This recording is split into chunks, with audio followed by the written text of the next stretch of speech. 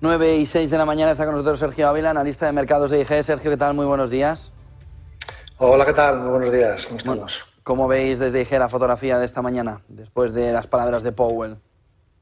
Bueno, parece que el mercado se está tomando muy bien esas palabras ¿no? de Jerome Powell. Eh, es cierto que tenemos una segunda reunión consecutiva en la que no se suben los tipos de interés, que se mantienen, lo cual, bueno, pues esto sabemos que suele ser muy bueno para el mercado y además tenemos también la idea de que puede ser que hayamos llegado ya al fin de la subida de tipos de interés y que, por lo tanto, incluso se puedan empezar a anticipar ya bajadas de tipos de interés. Si nos fijamos en lo que dicen los futuros sobre fondos federales, vemos cómo para junio de 2024 ya han aumentado las probabilidades hasta el 40,3% de que veamos esa primera bajada de tipos de interés y que, por tanto, pues eh, hayamos llegado ya definitivamente al fin de este ciclo eh, duro ¿no? de, subida de tipos.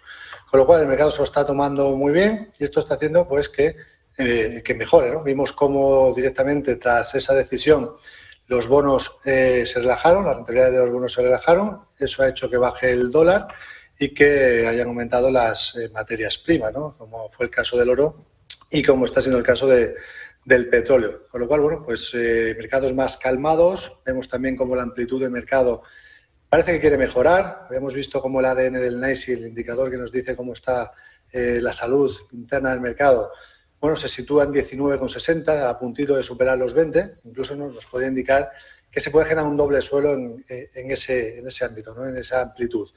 De manera que eh, parece que sí, que es cierto que ahora ya el mercado sí que se toma de manera positiva estas palabras de Powell y puede ser que empecemos a ver ya el rebote que todos estábamos esperando. A partir de ahí, Pequeño es otro de los grandes protagonistas, viendo cómo va alejándose esa tensión, esa escalada en Irán. ¿Cómo lo veis? Bueno, pues en el corto plazo estamos viendo cómo hoy tenemos eh, cierto rebote. Tenemos el crudo Bren en 85-64 en esta zona. Lo más normal sería ver una superación de esos niveles y que podamos ir en búsqueda eh, durante la sesión de hoy hacia la zona de los 86-24. ¿no? Sería el escenario más, más probable. Si nos fijamos en gráfico diario, Vemos cómo, donde se ha parado justamente es la media de largo plazo, un nivel de referencia muy importante que suelen tener todos los, eh, los inversores. Y en este caso, bueno, al haberse frenado en la zona de los 84-60, bueno, parece que los indicadores técnicos comienzan a girarse al alza y veremos si definitivamente pues, eh, aquí se toma ya ese respiro en, la corrección que, que, hemos visto desde el 20 de octubre. ¿no? Así que lo más normal que en el corto plazo con la relajación del dólar y con la expectativa ¿no? de que la economía norteamericana puede seguir yendo bien, pues que tengamos cierto rebote en el, en el petróleo. ¿Oro en este entorno? ¿Valor refugio? ¿O ya con la desescalada o la, un poquito de descensión debería también seguir la tendencia de reducir esa subida por encima de los 2.000 dólares? Bueno, es cierto que efectivamente, como bien dices, ¿no? Eh, el, oro ha actuado como refugio en todo este tiempo en el que teníamos esas tensiones. Eh, ciertamente, toda desescalada de las tensiones pues, eh, hace que los inversores sean más propicios al riesgo y que, por tanto, huyan un poquito más de los activos más refugio.